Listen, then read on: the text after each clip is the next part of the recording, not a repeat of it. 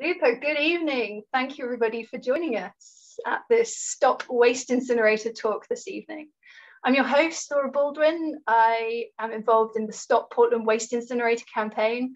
I literally live on the hill above where this monster of a contraption will hopefully never be, because it would be pretty ghastly to live amongst such a thing. Um, little housekeeping before we get started. If you could all keep your um, mics muted whilst you're not speaking, just to avoid any interruption.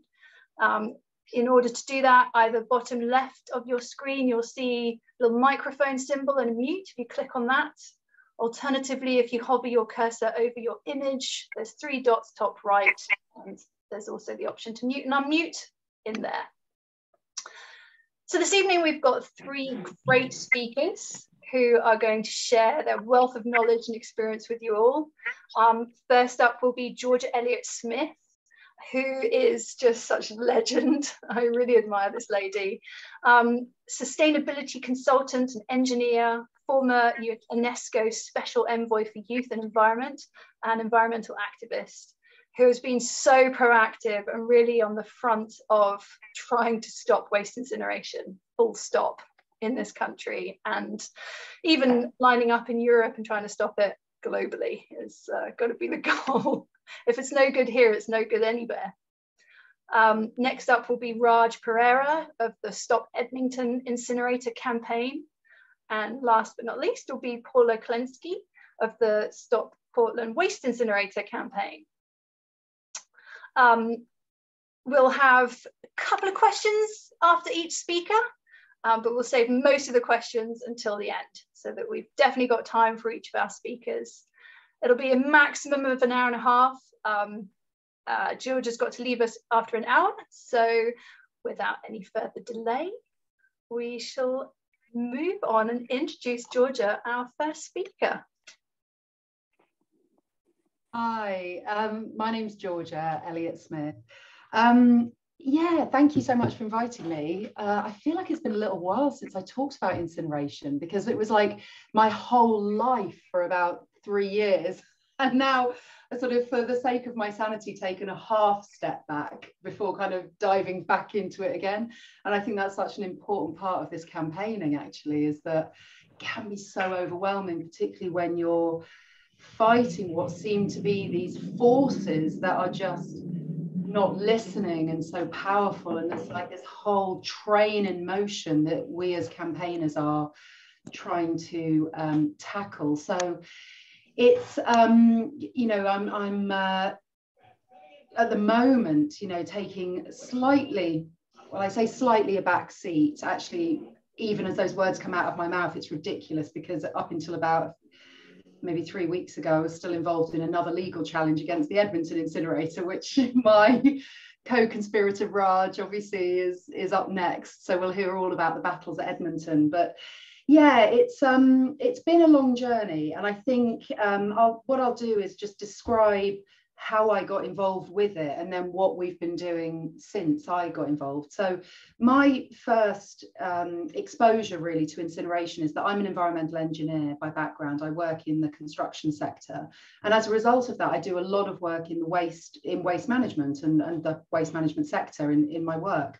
Um, because of that, I um, I had been to waste incinerators in the past to conduct supply chain audits and uh, and as far as I was concerned, waste incineration was a viable part of the waste hierarchy. I had no particular problem with it as long as they were aligned, you know, as long as they were meeting limits in permits and so on and uh, were not breaking the law, then I was perfectly satisfied with that.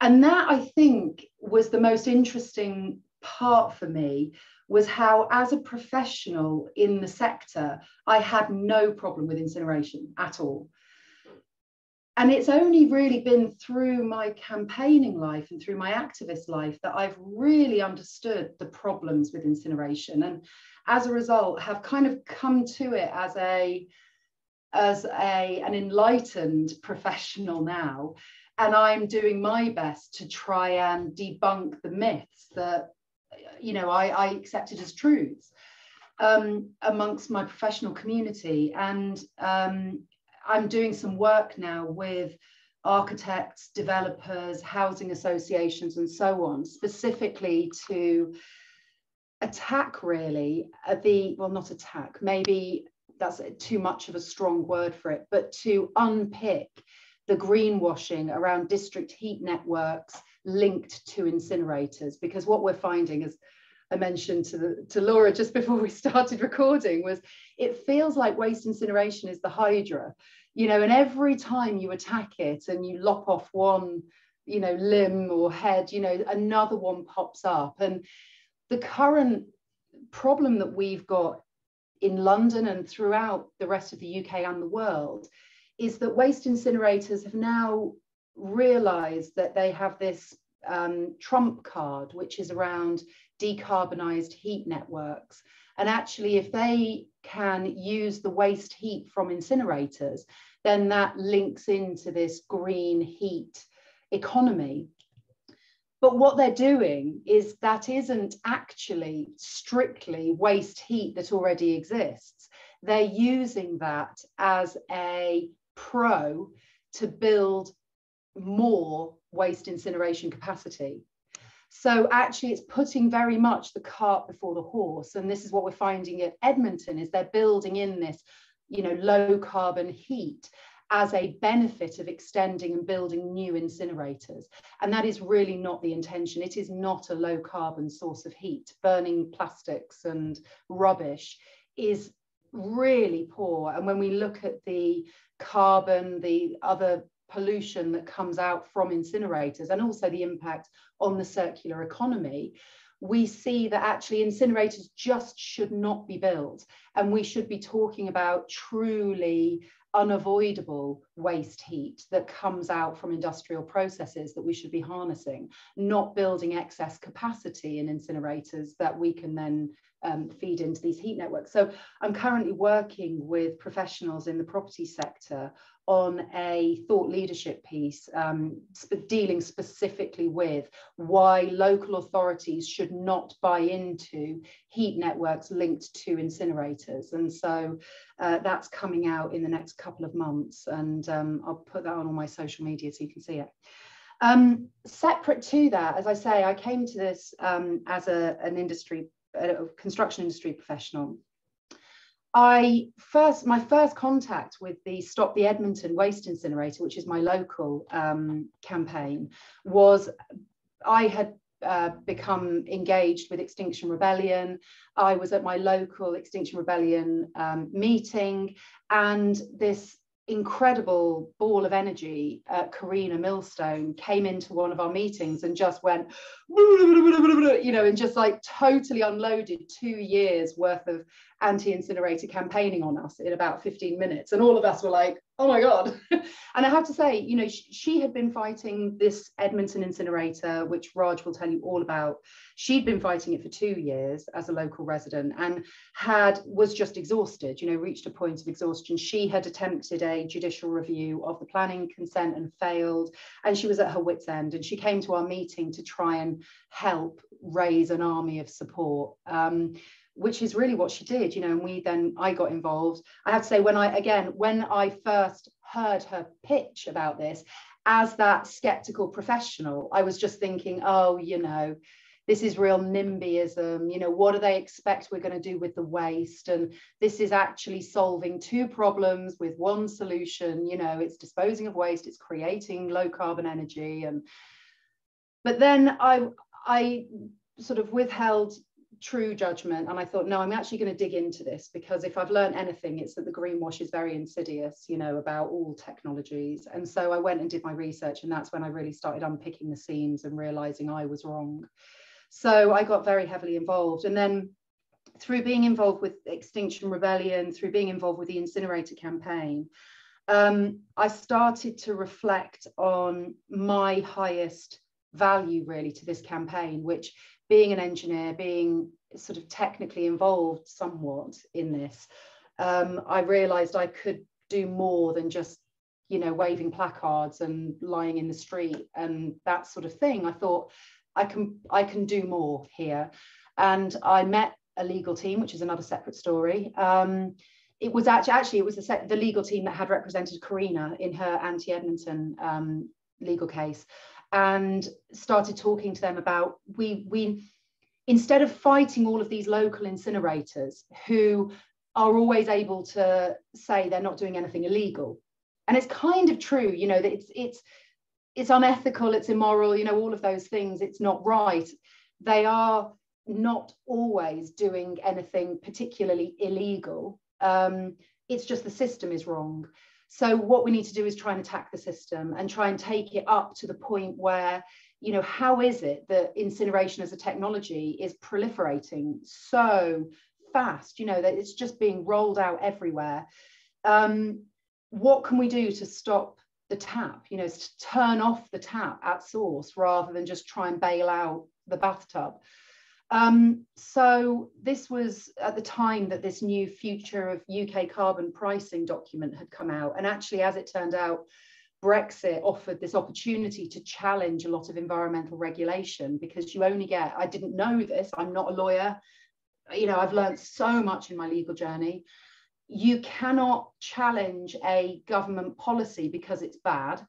You can only challenge it within three months of it being published um, that is them's the rules you know and beyond three months you lose your ability to challenge it. And so we were talking and during you know while we were talking this future of uk carbon pricing was published and we recognized an opportunity to actually deal with some form of carbon pricing, which I think is one of the main reasons that incineration is allowed to proliferate because it doesn't have to pay for any of its emissions. You know, it's an externality. Society picks up the tab for the pollution that's being created by these incinerators, not the technology provider or operator themselves.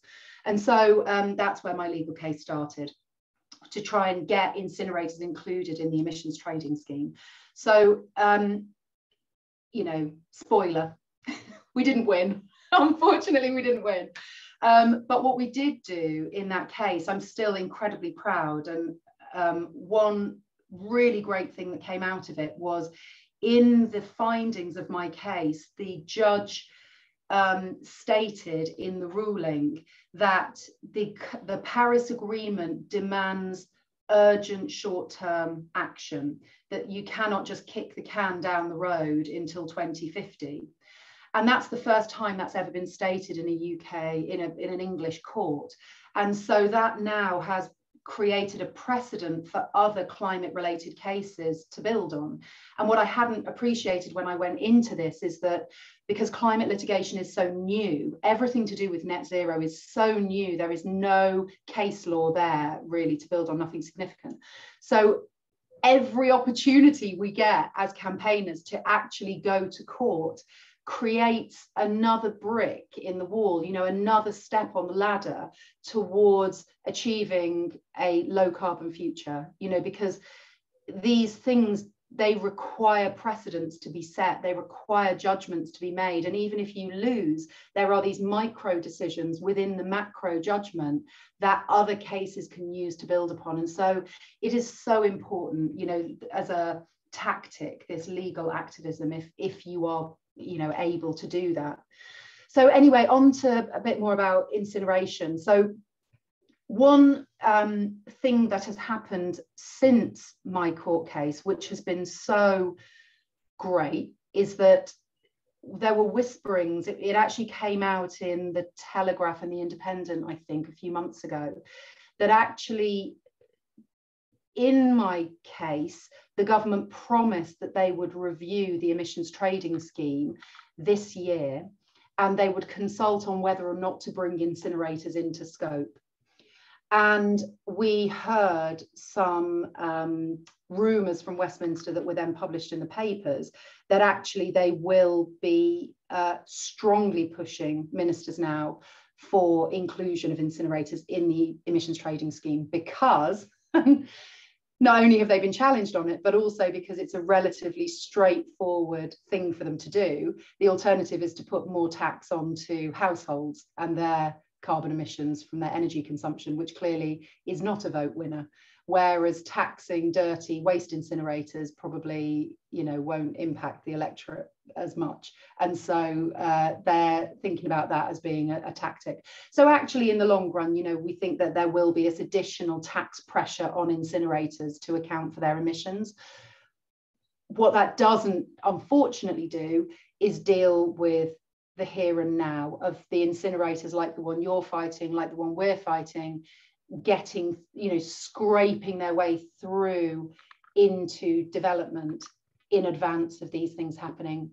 But what it does do is helps us to highlight to our local authorities this negative future cost impact where the incinerator doesn't have any emissions mitigation meaning carbon capture and storage, which is basically pie in the sky. You know, carbon capture and storage for incinerator technology is just an absolute blooming nonsense. You know, why would you burn stable stored carbon and then pay tech for technology to remove it from the emissions? It's just an utter nonsense. Um, so, you know, it, it is building the case. Another thing that's going on at the moment, which I'm finding really interesting, is um, and, and I I presented to the all party parliamentary group on air pollution on this. And if you haven't seen the paper that came out from their meeting in uh, when was it? It was back in sort of September time, 2021. Geraint Davis MP produced a paper off the back of that APPG asking Parliament to put a moratorium on all waste incinerators on the basis of air pollution and the precautionary principle. And there's been new research that has just been published last week, I think, by Zero Waste Europe, uh, reporting on dioxin levels. They've been conducting with a, a, another charity called Toxico Watch in three countries in Europe um, some biomonitoring studies around waste incinerators and modern waste incinerator facilities as well, not, not dirty old ones. I say dirty old ones as if they're not dirty new ones. Um, and those results have just been published and they have found that the dioxin levels around the waste incinerators, let me get the, um, the actual figures for you. Um, they have found from their biomonitoring that uh, up to 90% of the samples um, exceeded safe dioxin levels. They also found that um, PCBs, PFAS, which is the, I don't know if you've seen Dark Waters, but the forever chemical that's um, the subject of the film Dark Waters, um, were in very high levels. In fact, um, even you know some of the volatile organic compounds that they found were 87 times um, the comparison reference source. Uh, so it it's definitely worth taking a look at that and unpicking all of that information because this is all new research that's now coming to light. Sorry, time. Have I? How much time do I have? Shall I sum? Shall I just close up now because I could go on like this all night. it is so interesting hearing from you, Georgia. Um, a, couple, a few more minutes. Yeah, a couple more minutes. Yeah. I'll just close up. I'll just close up. Um, I think one of the one of the key points that for me has been the most concerning has been data that's come out from the incinerator industry itself. And this is from the Tolvik um, waste incinerate, energy from waste industry reports that are published annually. And what we see from those reports is, a, I think 2020 was the first year that they reported on abnormal operating hours. And these should be really worrying to everybody because what we have found is that um, in the 2020 report, the 39 UK incinerators that actually reported uh, their data, that's out of almost 50, so only 39 reported their data. there were 127 emissions permit breaches across 39 incinerators and 226 abnormal operating hours. Now, an abnormal operating hour is a, is a point at which it can be a shutdown, it can be uh, a startup, it can be a, an equipment failure, it could be the, a failure of filtration equipment, it could be um, other kinds of technical or human error. But the problem with that is there is no data to record the emissions during those abnormal hours. Because the way in which emissions are reported is over averages and is self-reported. And we know the environment agency is under-resourced under-financed you know stretched to its limits. And they are not an effective watchdog or um, police or prosecutor essentially of these offences and we are dealing with some of the most toxic substances known to science here. You know, we're talking about dioxins and furans and heavy metals and um, persistent organic pollutants that are linked to awful diseases, which I know you know all about. But this is really an emerging science here to try and understand what's really going on. And this has been shrouded in mystery and, you know, redacted documents and those abnormal hours to me are incredibly worrying because they're a real blind spot about what is going on. And I think this is why the biomonitoring exercises are so interesting because they are taking actual soil data and data from food produced in the local area, eggs and crops and so on. And dioxins are a persistent organic pollutant. They, they build up like DDT, they build up in fatty tissues, in food, in uh, human beings, in the things that we eat. And they build up over time and they contribute to these um, diseases. And I think the precautionary principle and things like the Stockholm Convention again I will finish now but I you know I can go on about this for such a long time. Every stone I look under makes me more and more concerned because the Stockholm Convention you know I, I believe there's a legal case out there about how waste incinerators are in contravention of the Stockholm Convention because they are not destroying these persistent organic pollutants. They're allowing them to persist in nature. Um, and the, the more time marches on the more we're understanding this. And so I'll kind of leave you with that. I know it sounds sounds pretty bleak, but you know there are some great people like yourselves fighting all of this. So I have great hope, but you know it's uh, it is a constant march onwards. So I'll leave it there, and I'm happy to answer any questions if you have any. Thank you. Brilliant. Thank you, Georgia. That's really fantastic.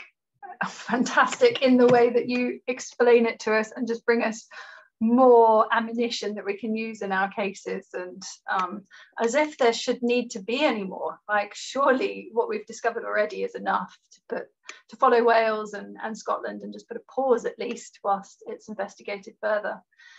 Um, right so I have unpicked the spotlight but it, on my screen still seems to be spotlit I was just trying to bring everybody back onto the screen.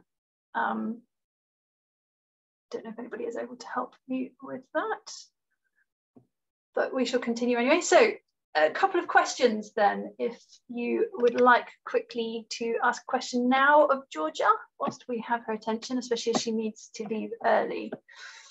Um, if you want to just put your, raise your hand using the reactions or write it in the chat and we'll call you in. Okay, I can see a hand raised there. So Doug, Douglas, would you like to unmute yourself?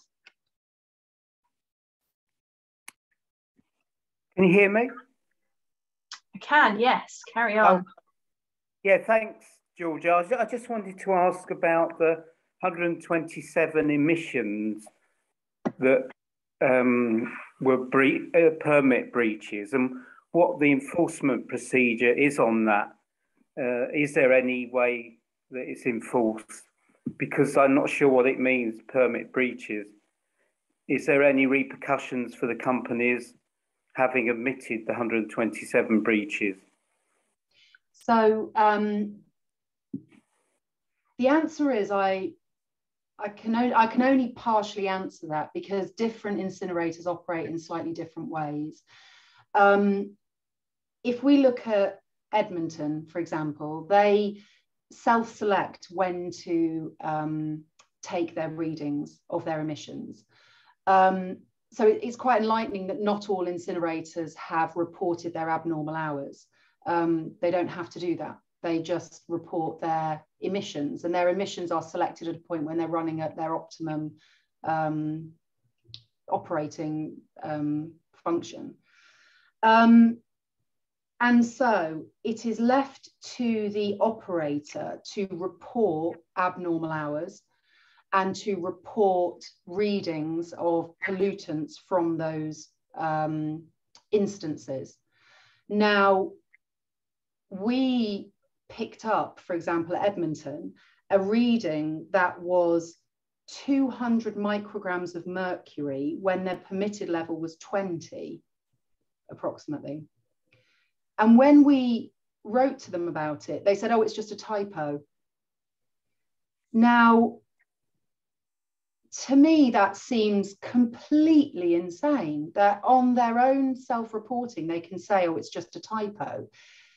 You know, there was no follow up. The Environment Agency didn't chase it up. They simply claimed that, oh, there's nothing to see here.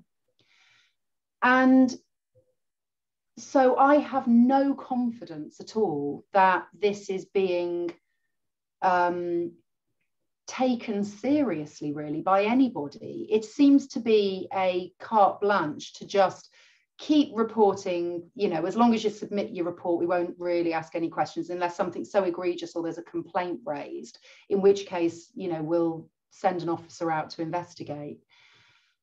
Um, that's basically that that's all i can really say on that. You know we've seen no action from the environment agency at all over these exceedances.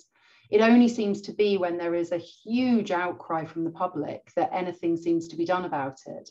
And like i say you know these things are all self-reported. Nobody's watching from the outside. Nobody's checking these figures. They're just it's all on trust. Now the when i say the the exceedances, that can be anything. You know, I mentioned mercury there, that was emissions to water from the incinerator, um, but obviously the, the emissions to air as well. Um, some of them have inline monitoring so that they will monitor the actual gases coming out of the chimney. Others will monitor from a radius near to the facility and then they will model their emissions. In fact, I, I understand that the vast majority of incinerators do only um, they don't do any actual monitoring of the air at all. All they do is they extrapolate their emissions data based on the type and quantities of waste that they've burnt in a given period. So it's all model data, it's not actual air quality data at all. It's very right. murky. It does sound very murky indeed, and really not acceptable when it's such a hazard to our health. It's just unforgivable. Um, Lynn, then Phil, two quick questions. Lynn first. Thanks, Georgia. That was really, really informative. Um, I'm coming at it as a, a health worker, and I thought what you know what the self monitoring is is is absolutely frightening. Um, you probably remember there was a judgment. Um, a young a, a child died and her mother and she died of air pollution in South London and her mother fought to get a ruling that she had died as a result of pollution. Um, and I, I wondered if there was any, you know, um, whether or not local GPs would be measuring, benefit in measuring things like dioxins and mercury or any of these things in the blood and looking at it you know we know historically there was things like you know lead poisoning from living near motorways um, and whether you know what your thoughts are really about about that especially as you say quite we we're losing you there, Lynn, yeah. with your I, bandwidth. I, I got it. I yeah. Think, um, thanks. Yeah, I got the I got the question. Um, actually, let me just grab a piece of paper because I want to make some notes about links to send you to all of these studies. Hang on. um, Rosa Kissi-Debrah is a friend of mine, and it was her daughter Ella Kissi-Debrah who was uh, the girl that died. And we campaigned together on a number of platforms. You know, we're, we're members of a couple of the same committees and things. Um, and yeah, you know, she's she's incredible, really, really passionate and, and powerful advocate.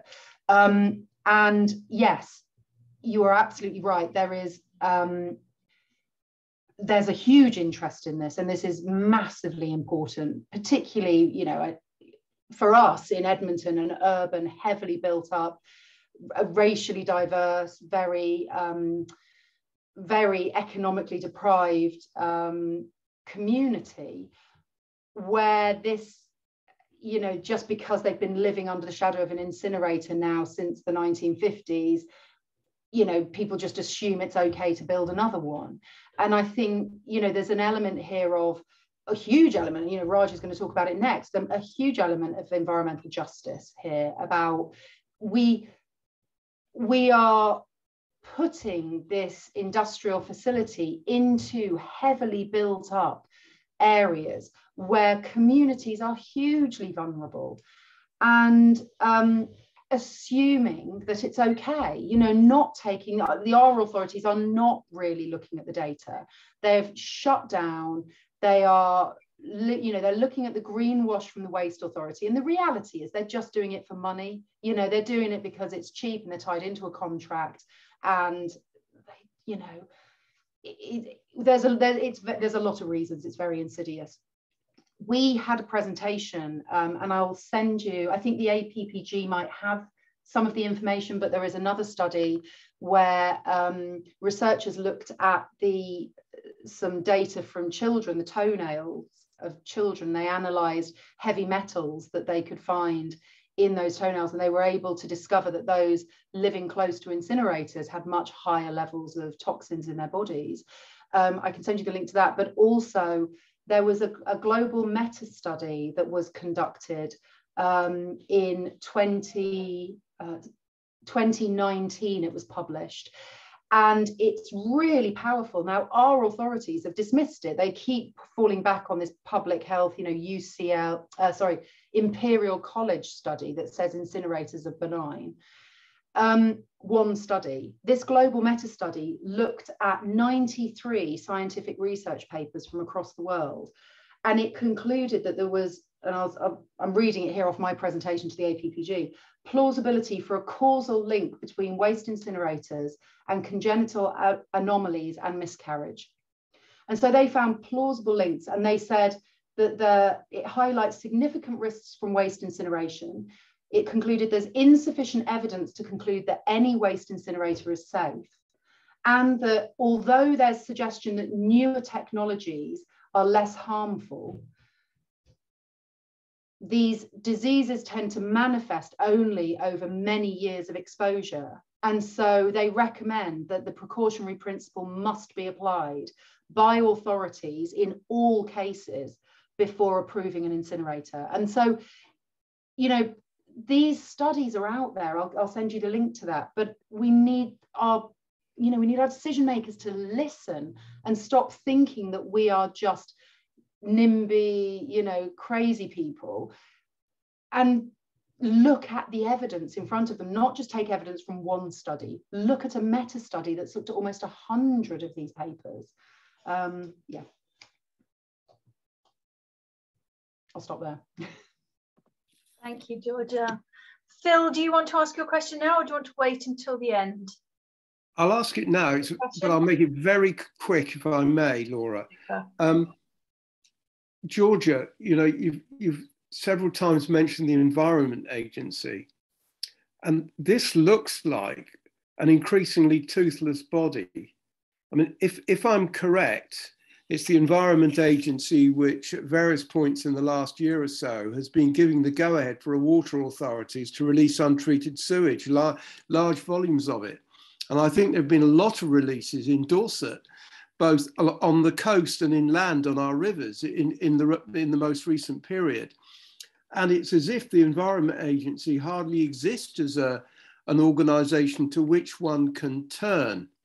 Um, is it the case that uh, in relation to incinerators and the type of example you've just given, that the Environment Agency is not a very credible body and certainly one that doesn't seem to be looking after communities' interests?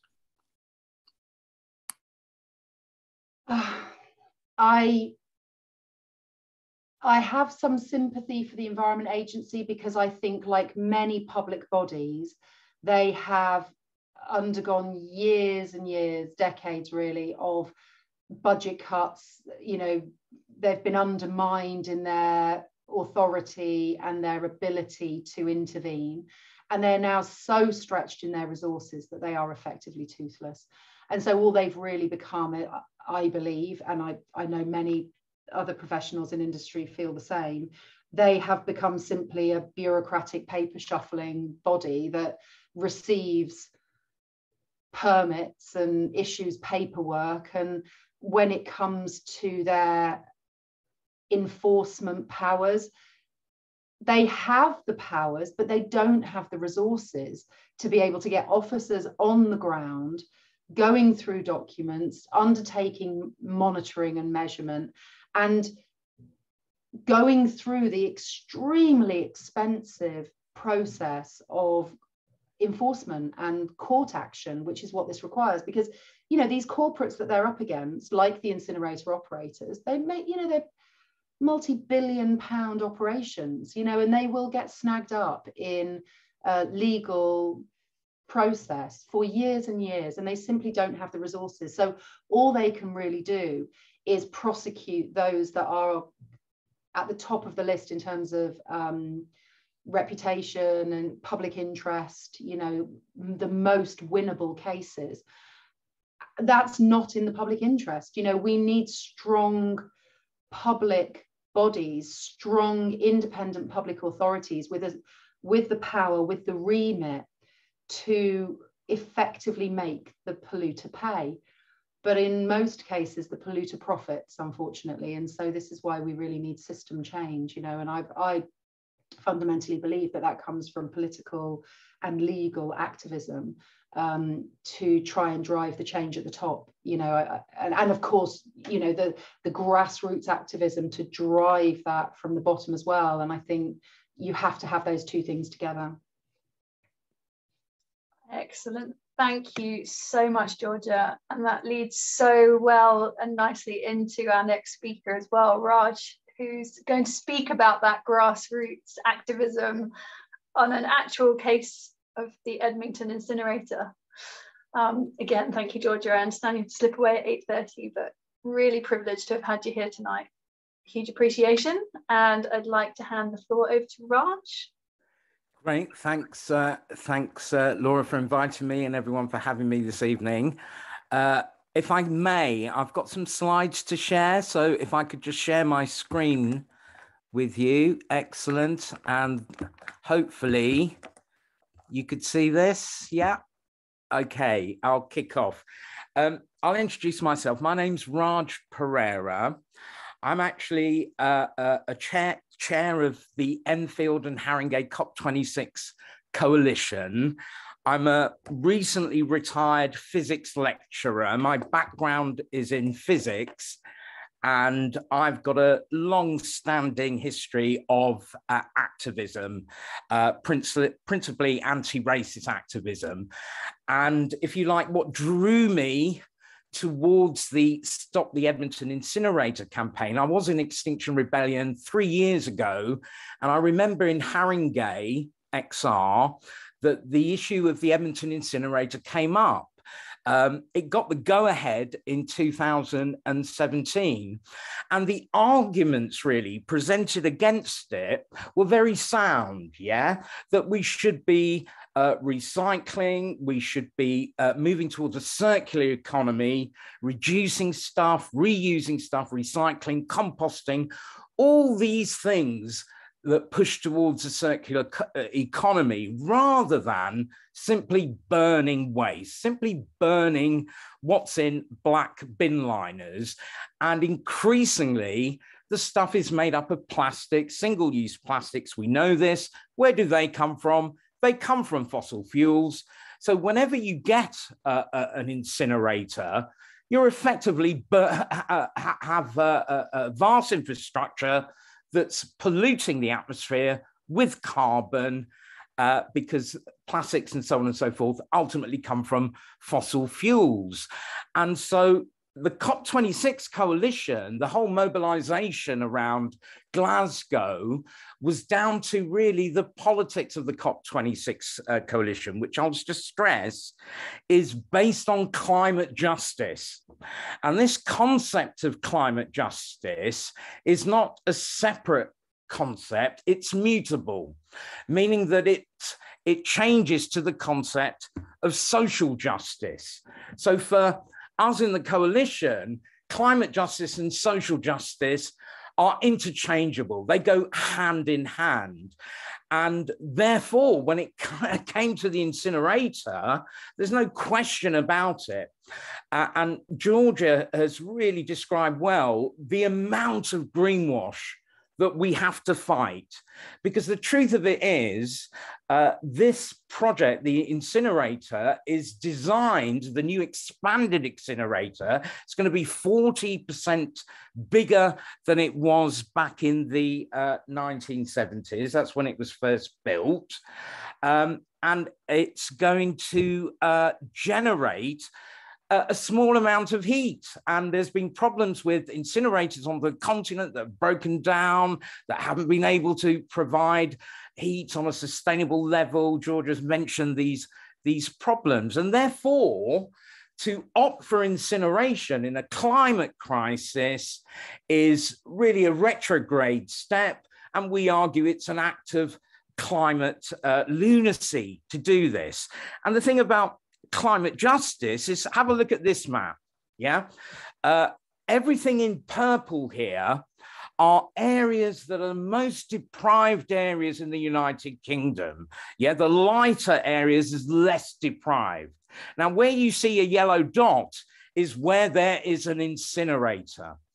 And what you're seeing here is a law of society when it comes to dumping waste on people. And, and the law is this that incinerators are likely to be built.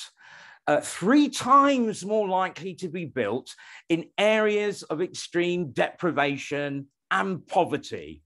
And, and this is a, a law. And so, uh, you know, that there are 90 odd incinerators up and down the country. The government now, which is ridiculous again in terms of reaching net zero by 2050, are planning 50 more incinerators. So we've got 140 sort of odd incinerators. And the one in North London, you know, 700,000 tons of waste are going to be changed and converted into 700,000 tons of carbon every year. And really, the, there is, Georgia described it well, there's a get out clause internationally when it comes to uh, uh, the burning of, few, uh, of, uh, of waste in incinerators. The carbon emissions don't count. They're not counted in this grand scheme of things uh, because we we get some heat from this thing. And that's all. That's the rationale. And georgia said it's the the uh, the cart leading the horse here. And that's exactly what's going on. Um, okay so and the thing about the racism here is if you look at uh, the campaign three years ago we we hit the headlines you know um, not three years ago sorry uh, just last September, the campaign had built up. We've done the petitions, we've done the uh, um, uh, um, uh, mobilizing outside council meetings and so on and so forth. And there was a demonstration. And this was last September. And what you're seeing here are the, the forces that mobilized for that demonstration. They were the usual suspects Extinction Rebellion, fantastically important, but also Black Lives Matter. Uh, perhaps you've seen Delia Mattis, who's a central uh, uh, black female activist in uh, Black Lives Matter. She gave the campaign an extra, if you like, wind in the sails as a result of the Black Lives Matter movement, because where this incinerator is built, we're talking predominantly Black, Asian, 60% uh, plus. Uh, uh, racially diverse and ethnically diverse. So this is an act of environmental racism, and therefore uh, we took it up uh, uh, as, as an instance of this. And so last September, it was a fantastic demonstration 200 people. We occupied the North Circular Road. The police couldn't control the demonstration, and it was really uplifting. And uh, it got into the press. And this is really important, really, to have these sorts of mobilizations that raises the campaign. And in a sense, we begin to dominate the narrative. Uh, a lot of people throughout North London didn't have a clue about about the incinerator. But after mobilizations like this, then it gets in the news and we begin to sort of dictate a little bit the narrative. And it's unfortunately a rule of thumb that the further you go away from Edmonton, there's seven North London boroughs involved in the North London Waste Authority. The further you go away, the issue doesn't really hit in the popular, uh, if you like, psychology of people because they're far away from it. Um, and here's uh, this was really an exciting day. This image. This is when XR, um, Black Lives Matter, and people essentially on the left got together. They uh, organize a blockade of the four entrances of the incinerator. And this was the week that they were going to vote for the incinerator. And this was brilliant because it was only about 40 people. It hit the national papers. This is from The Guardian. And it came out on the same day as the All Parliamentary Group uh, uh, uh, committee report on air pollution, on, on waste pollution from incinerators. And I'm glad Phil has posted that in the chat. And I am going to go back to this document and highlight some of its key findings. But it's quite horrific in North London. It's what they are doing is just burning black black uh, bin liner waste and the real difficulty we're faced with is this graph what does it show it shows that uh, after year in, year out, this goes from 2010 nearly up to 2019, the green, almost flat line is recycling. In London, the recycling rates is 30%, and that is below the national recycling rate of 49%. And some places that have really got on top of the problem can reach recycling rates of 70%, even touching 80%. Yeah, you could recycle your waste instead of burning it. But you see what has happened? No real action on recycling, and you see the red line getting bigger and bigger year in, year out. And this is incineration. So they haven't really, the powers that be, the councils, haven't really dealt with the problem at all about recycling. They've opted for the their easy solution, a solution that brings them money, is to engage in incineration like this. So incinerators grow. And the problem with this, and this looks like a strange graph to show you, but on the bottom is the rate of incineration. And on the top is recycling. And it's a very simple rule if you draw a best fit, fit line. The more incineration that happens in society, in your community, in your city, the less recycling uh, takes place. And therefore, the decision to go ahead with the incinerator is embedding two things the commodification of waste and the prof- profitability of waste. Because this is what's been incentivized. When you expand an incinerator there is less money, less resources going into good waste management systems. You know, that means cleaner streets, greener spaces, especially in a deprived community in North London. And so this is being uh, embedded in. And all right, the cars, perhaps, yeah, eventually they'll go electric and so on and so forth. Yeah, but look, this will be, the incinerator in Edmonton will be the biggest source, single source of carbon emissions in all of London. And if you count, uh, if you get rid of the legal loophole and count the emissions, there'll be absolutely no way that the government, government can meet their 2050 targets. And the real killer here and these, and I'll go back to bits of the report. The real killer is something called particulate matter. You should have heard of this. Particulate matter, in particular 2.5. The 2.5 is 2.5 microns. We are dealing with waste that behaves as a very fine, rarefied gas. And here's the big stumbling block there is no uh, filter system that could uh, prevent a fine, rarefied gas from escaping. And this, this really is at the cause of Ella Kissi-Debrah's death.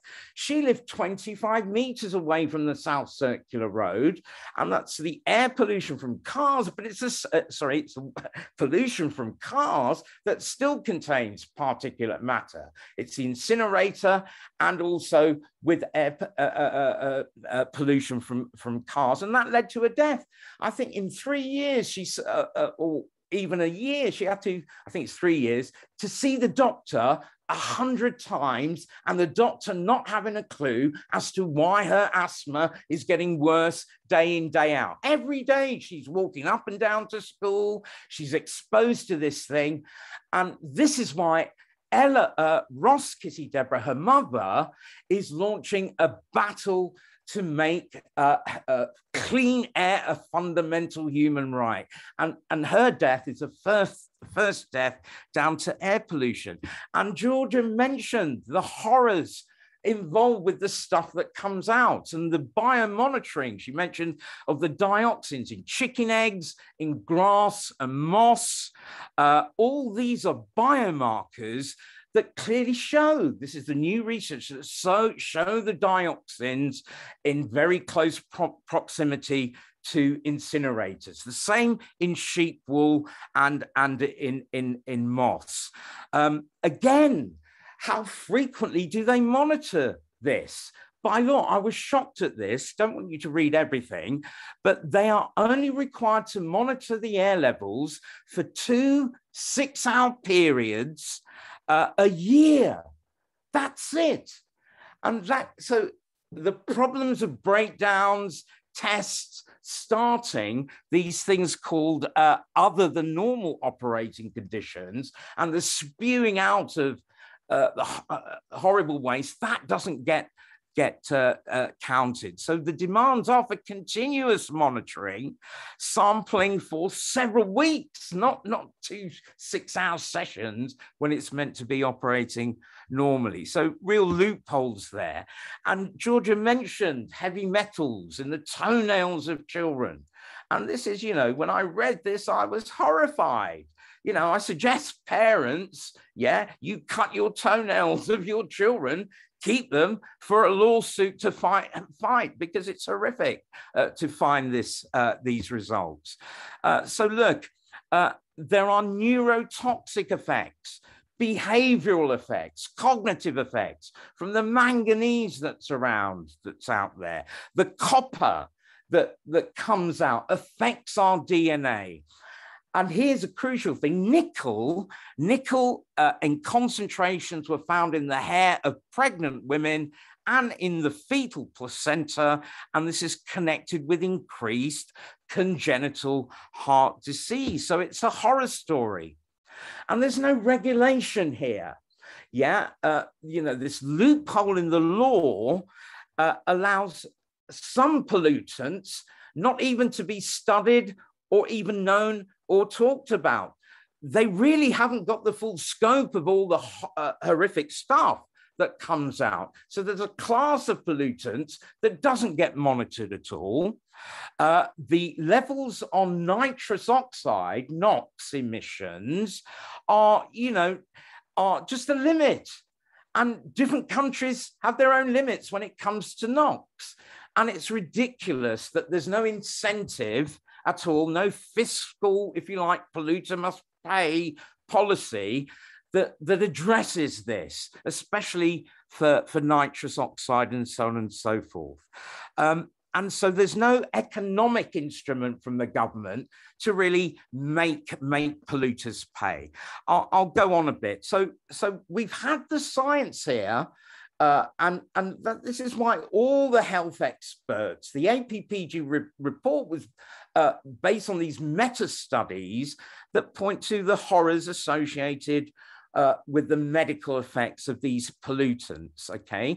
And there's no question that respiratory problems, cardiovascular problems are down to particulate matter. This is why the doctors in Edmonton were up in arms and part, part of our movement. They're organizing. And the hospital is just around the corner from the incinerator. You know, and there's a North Circular Road. It's just a not a pleasant environment at all. And the question we have to ask ourselves, why is why is there no incinerator in Chelsea or, or you know, High Hampstead, South Kensington?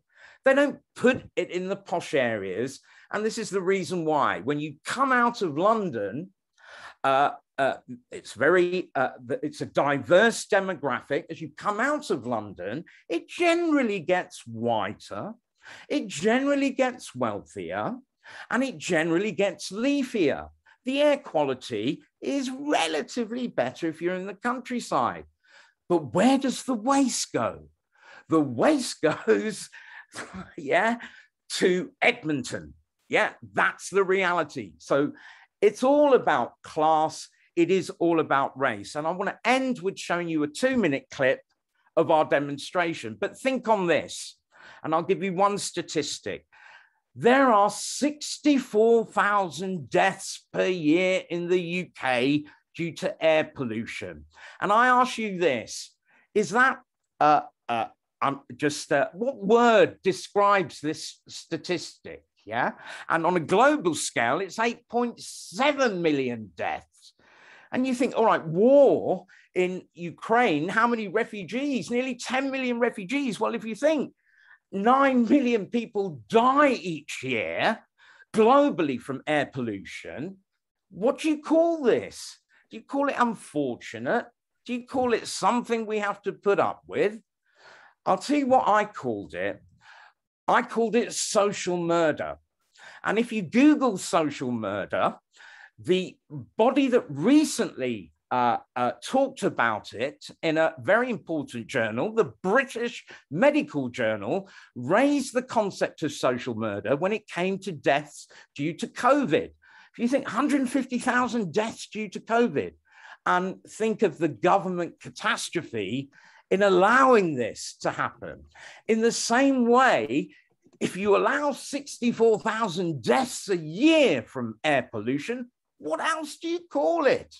This is social murder. And it may have come from the British Medical Journal, but it comes from Friedrich Engels, everyone. Yeah. Raj, thank you. I'll, thank I'll, you so okay. much for your passionate okay. uh, presentation there. We'll keep your video until the end because we okay. are running over our planned plan for this evening. But my goodness, what a lo- lot of very rich, powerful information you have presented tonight and so passionately presented to these doctors of um, protesting there. That's such a strong statement we're going to keep the questions also until the end now because there was a lot of information there. I'm not sure there'll be, we'll wait until the end of Paula's presentation and see how much time we have remaining. So Paula, are you screen sharing? Would you like to take it away and tell us about Stop Portland Waste Incinerator? Hi, yes, I'd like to share my screen. Um, here we go. I'm just going to dive in because uh, uh, that's the best way to do it. Um, okay, in 2013, it, planning permission was given for burning rubber uh, tires and palm oil, and that generated a huge outcry, uh, but it failed to stop it happening. And in Dorset, the pressure to achieve the climate ecological emergency was successful. So in May 2019, that status was declared. And December of the same year, the applicants for this um, incinerator did a public exhibition and we all turned up and we were all very polite, but we were certainly not impressed. Because here we have the most beautiful place on earth that is unique and so important to us all.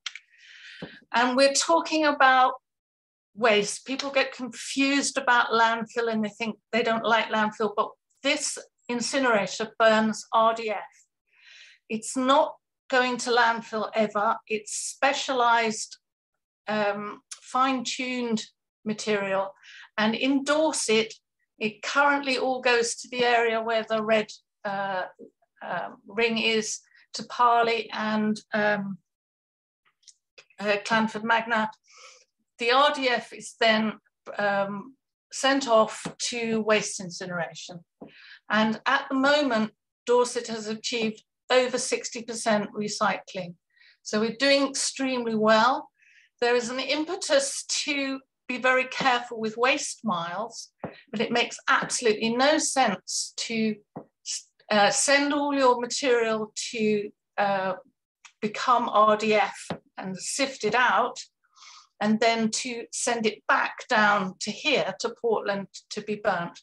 And unfortunately, um, last week, the week before last, the waste incinerator application for Parley, an intensification of the RDF purveyor was approved.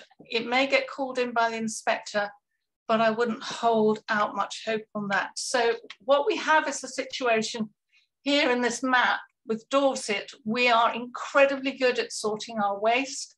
The contract has been let so that it will no longer go to uh, Southampton or uh, partially to Europe. It will all be going to Bridgewater, which is this brand new facility. And in the Southwest, you can go to the, the government waste data interrogator and you can see what all the ins and outs of where waste is moving in Britain.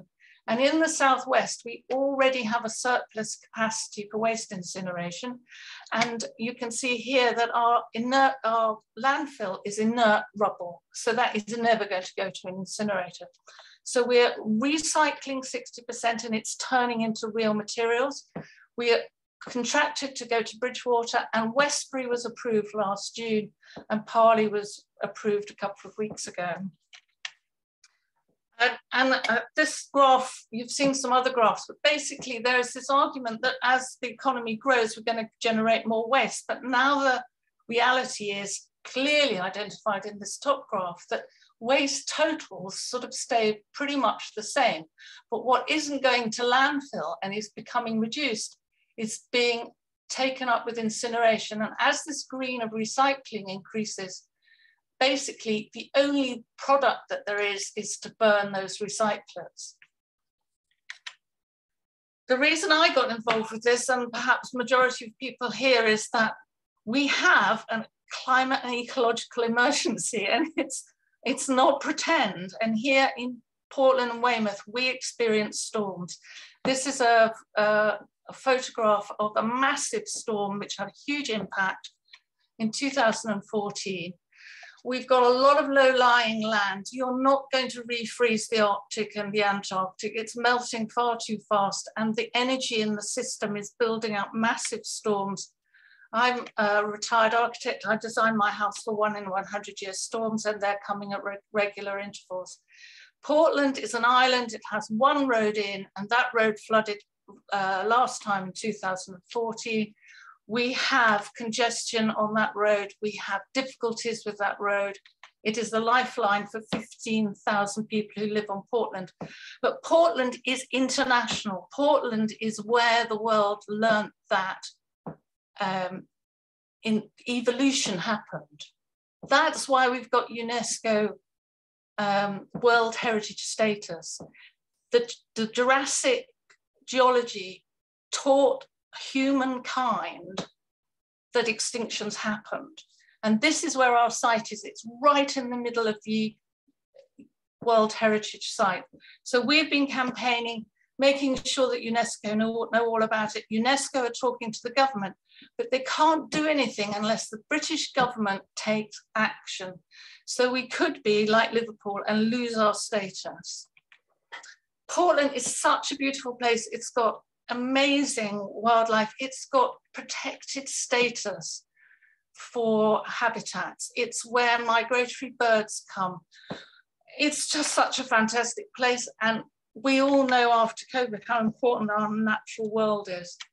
But we've also got amazing conservation seas. We've got a whole wealth of industry that is based on this, these natural assets. And yet, as we as campaigners try to get the marine organizations to come alongside and to put pressure on um, um, Natural England to say this is not uh, satisfactory, they all shift the buck, not our remit. So what we have is an island inhabited by 15,000 people, and there are people that will be living above the top of the flue. This very grey photograph is the applicant's only drawing, only image of the plume coming out. And this is where Laura lives up there, nicely above the flue.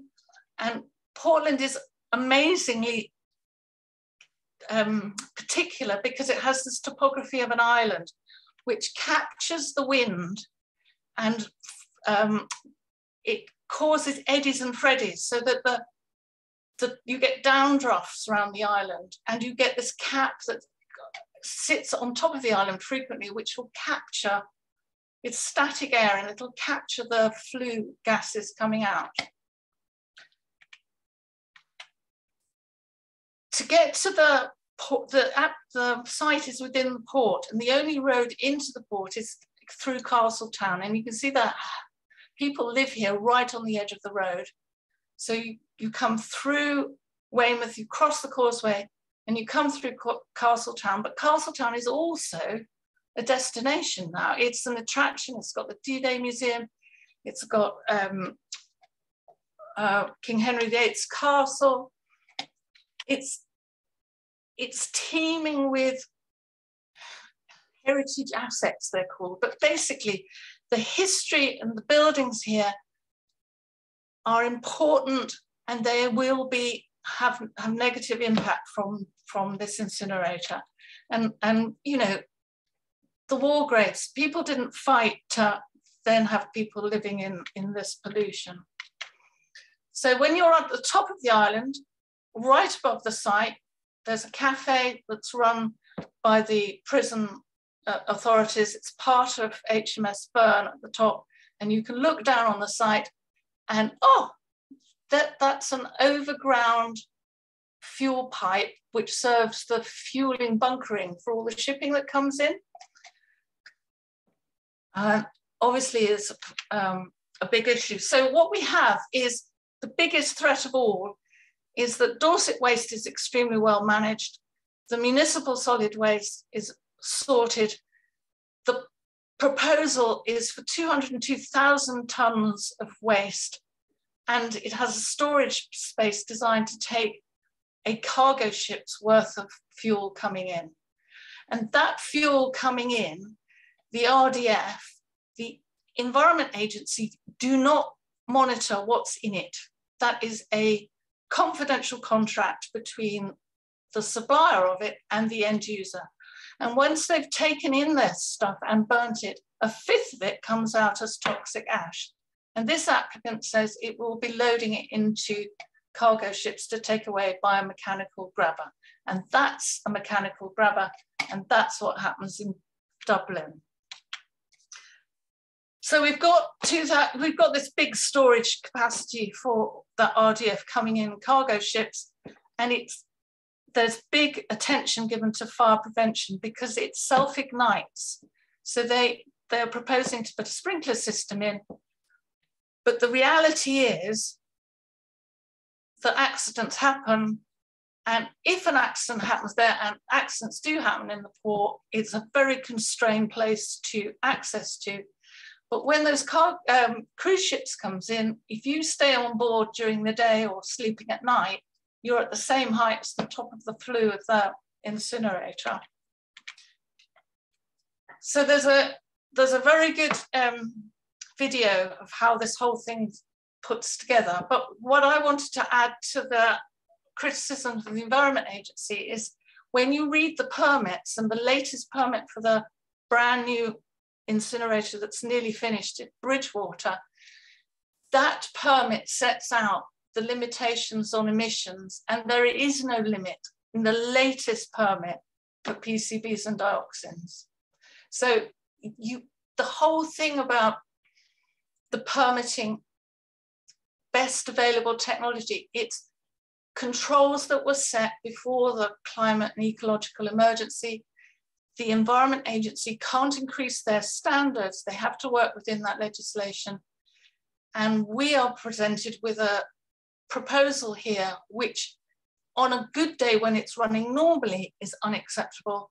But if there is an arising emergency, it's just going to be dreadful. And ho, 80 lorry movements a day. And we already have the single road frequently stopped. And this, this is a shot, if anybody familiar, is right at the beginning of the causeway, but the congestion will go right up onto the top of the island, right to the um, um, villages on the top of the island. And we already have large volume HGV movements. Another 80 day will make life really, really hard for people. And that's one every nine minutes if they control it to daylight hours. And the really, the really fundamental thing that completely knocked me out was the port says we have to have shore power for our cruise ship business. This 15 megawatts that we produce is going to be just such green energy. It's not green energy, and 15 megawatts could be supplied by one wind turbine. It's just unreal. The carbon intensity of waste incineration is currently four times the carbon intensity of the national grid. And once you build an incinerator, it's going to run for 30 plus years. It cannot decarbon downwards. It's just going to be locked in this dirty power system. So our local economy of Dorset, the whole of Dorset depends on our beautiful environment. If this incinerator is built, it'll be there well beyond 2050. It will be fed by imported waste. It'll be making profit for a few, uh, but it will its impact will be on so many more people. And believe you me, these are huge buildings. At the bottom right, that's two people looking at this building. It is humongous.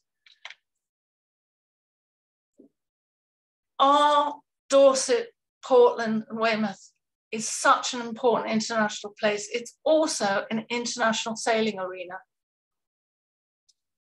It just can't happen. These people so far have raised, and we have spent £80,000 doing the job that local authorities should be paying for to buy expert reports. We've had a series of air quality assessments. And each time the applicants come up with new data, the experts that are independent that we've paid for have found fault in them. Today, the environmental lawyers, Freeths, have come back with their draft of their recent revisiting it all and still find fault in it. It's unacceptable. It should be refused. But the awful thing is, even if it is refused at planning, the applicants have got so much money, they will go to appeal. And so we'll have to pay for experts to represent it because it needs experts to represent it. People like me, we know a lot about it, but we, we we're only the public voice. It's experts that have to be paid for. And if the planners recommend it for approval, we'll seek to get it called in, but you have to pay for a barrister to represent you. So it, it's more money each time. And it's inadequate. It's not just the planning, it's the environmental permit which is running as well. And inadequate, inadequate, inadequate, inadequate. There we go. Isn't it a wonderful place? I'll stop sharing. oh, Paula, my heart goes out to you. you have put. Well, it's all our, it's our world, isn't it? It's just. You've put so much effort into this. Everybody in this local area is so absolutely indebted to you for the effort that you've put into this. And I thank it's you. Not, it's we're a team, and, it, and we've got some amazing people there. So yeah. So we've got a remaining 10 or so minutes for questions. If we, I'd like to open the floor to everybody that's come today. If you have any thoughts in your mind of things that you'd like to share, questions of the remaining two speakers here, Raj and Paula. If you can raise your hand. Yeah, and I, that's why I said, so Alistair's just prompted about Raj's video. Absolutely, we'll finish up with that. Geo, we'll call you in, please. Yeah, I just want to actually thank all the speakers. It's not my job really, but I am just a bit in awe of all of their talks and Paula's presentation was fantastic. And just just one note, it, it it can look with all our beautiful Jurassic coast and countryside and sailing that we're kind of all quite well off here. But actually we have to remember that Weymouth and Portland do have the highest levels of deprivation in the whole of Dorset. So it's no accident that that's where they want to stick this big dirty thing. So, um, you know, it, a, a, bit in line with yours, Raj. I just had to say that because just makes me mad. I nearly swore then. Sorry. Thank you. That was all. Thank you, Dio. Phil, you've got your hand up next. Yes, excuse me having another go. I just wanted to add to what Giovanna has said and refer back to Raji's comments about where incinerators are placed. Um, it's not just that Weymouth and Portland is the most deprived area of Dorset and one of the most deprived in the southwest. And for people who don't know, in 2018, Weymouth and Portland had the lowest average weekly wages in the whole of the UK, but that Underhill, which is after all essentially where the incinerator is planned, it's planned the incinerator will be placed, has got one of the very highest levels of child poverty in the whole of the South and Southwest. So 43% of all children in Underhill live officially in poverty. I mean, this is heaping deprivation upon multiple deprivation. As Raj says, it is a class issue. Uh, and it's glaringly, glaringly so. It's a, it is indeed a matter of climate justice and of social justice. And I'm sure that's an added motivator for us to get behind the local campaign, as well as maybe to link up. I can see now the importance of linking up with other campaigns with the Edmonton campaign, thanks very much to Georgia and to Raj, but also to keep an eye out for other campaigns around the country with which we can link and develop some, you know, collective confidence and solidarity. Absolutely, Phil. We all need to be marching to the centre with all our campaign banners. There's there's multiple campaigns across the country that could do that. I think we need to make that happen. So Peter and then Sarah. Thanks, Laura. Um, so I live in Swanage, uh, and, and clearly the more people from Dorset who can support the campaign, the, better. Um, and it would be great to whip up more support around, around the county. Is, is there any sort of data about how far the particulates can travel? Because people would be far more interested, perhaps, if they if they knew that the particulates could travel a certain distance with a following wind. Yes, I do know the answer, but Paula or Raj, well, the, the, interesting thing is that once pollution gets into the system, that does travel a long way. Talking to the harbour ferryman, he took an interest in the sediment testing that was done off Winfrith, our uh, nuclear power station on the Dorset coast. The sediments there weren't actually contaminated with Win, Win, Winfrith um, radiation, it was coming from France, it was coming from Cap de la Hague.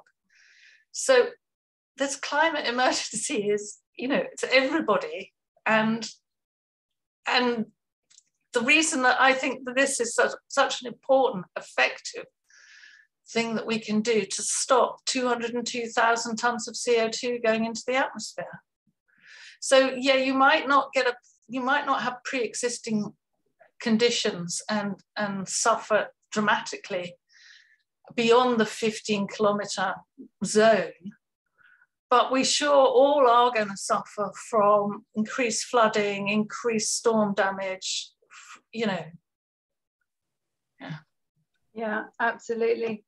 And they say, you know, they'll be carbon neutral because we're going to plant trees to offset the carbon emissions, but it takes one broadleaf tree 100 years to sequester one ton of emissions. So that's you know, in a week, 577 trees that each have to live 100 years to offset one week's worth of emissions. You know, times that by year, times that by 30 years, it's obscene. It's, it's, yeah. Thank you for that question and answer, Paula and Peter.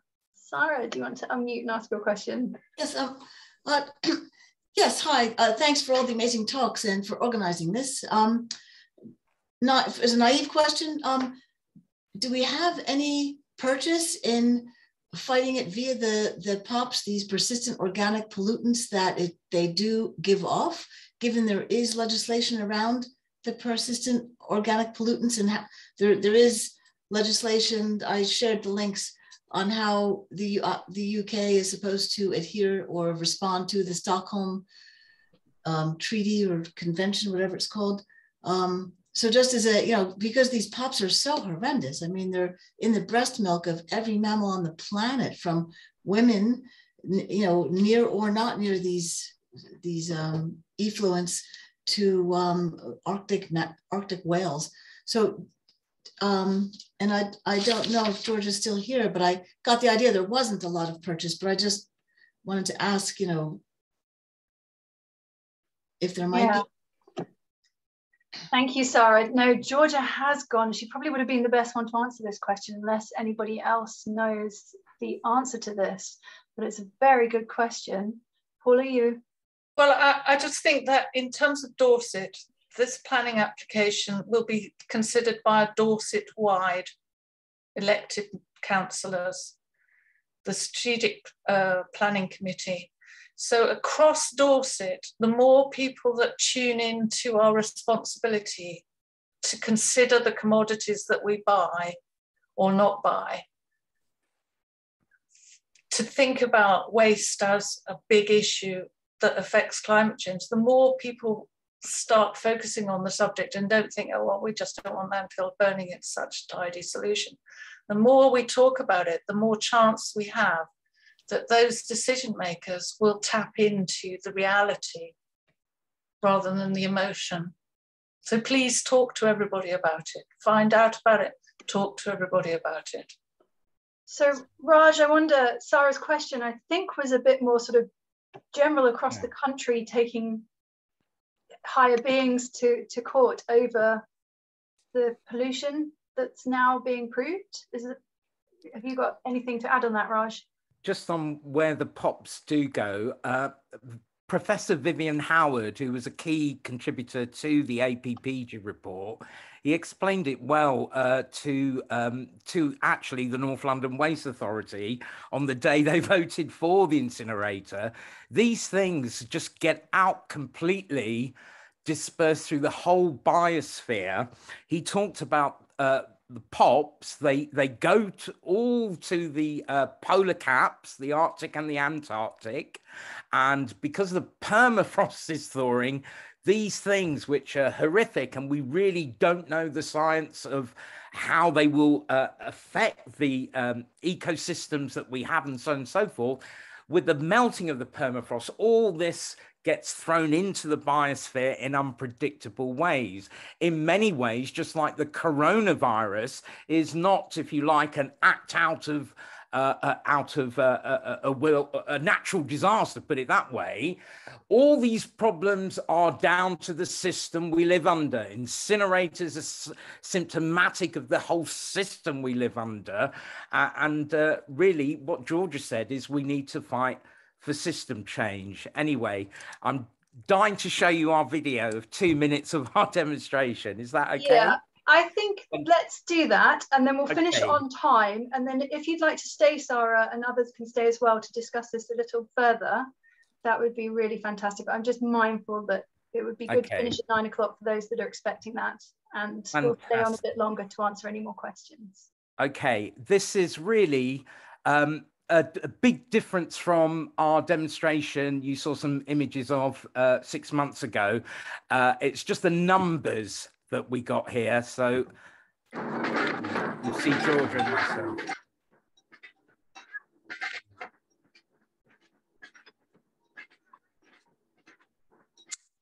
Massively oversized. About 60% of its feedstock is recyclable, but it's cheaper to burn it.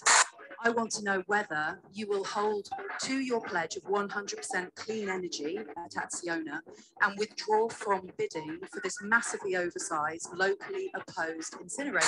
The massive oversizing of the plant is uh, something that is uh, beyond our control. We are powerful. We will not be stopped. We are on the right side of history, which means we will win. We are the people of Edmonton, and we are going to stop this incinerator. It makes absolutely no sense knowing what we know now about climate change, about environmental about the need to, to curb continued growth and extraction to go ahead with this project. This incinerator is a symptom of what is wrong with the entire system we have.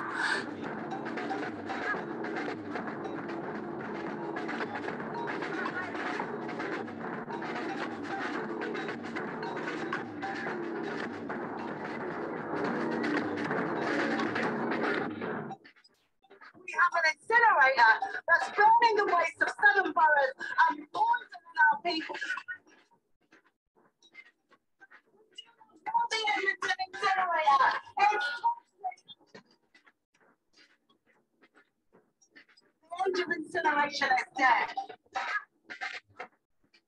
If you don't back our community, then they'll get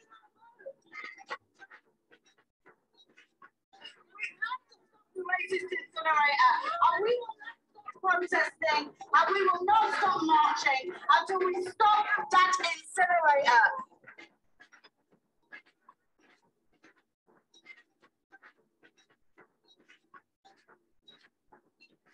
not stop campaigning against the incinerator and we will not stop protesting in these streets. Great. Thanks. Thanks, everyone such an empowering way to finish up this evening. I really huge thanks Raj, Paula and Georgia for coming along this evening and sharing your wealth of knowledge and for volunteering your time to have learned so much about these monstrosities and then sharing it with others. We're truly grateful. And I want to put a special thanks also to Phil for organising this evening. Thanks to him for bringing us all together. And I'm excited for what might come as a result of this evening. It sounds like there is energy for a united uh, countrywide protest against incineration. Um, and put the moratorium on any new and then phase out all existing as rapidly as possible. If you'd like to unmute, say good night, say thank you, type in the in the chat, um, or if you would like to stay on, I'll stop the video. But if you'd like to stay on and keep chatting, we will stay for a, for a short while longer. Good night, everyone.